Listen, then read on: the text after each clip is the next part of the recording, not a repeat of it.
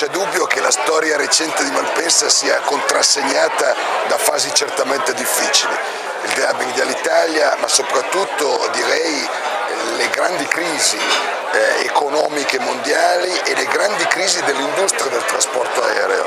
Noi ne stiamo attraversando un'altra dopo quella altrettanto pesante che ha contrassegnato il periodo tra l'estate 2008 e la fine del 2009.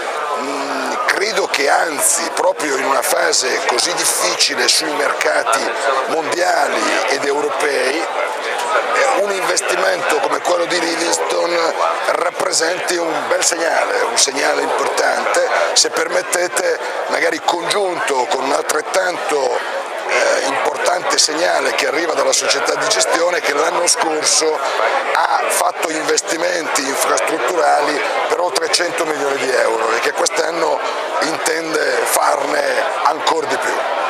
Credo che l'imprenditoria sana l'imprenditoria che crede al mercato debba investire proprio nei momenti in cui il mercato è in difficoltà. Quando nascono nuove grandi infrastrutture, le precedenti infrastrutture o vengono chiuse e questo non è stato possibile 14 anni fa, nonostante l'avessero chiesto con forza sia la società di gestione, cioè sia SEA che all'epoca all'Italia e non è stato possibile per una concomitanza di cause, una delle quali chiarissima è stata la miopia della classe politica milanese e lombarda.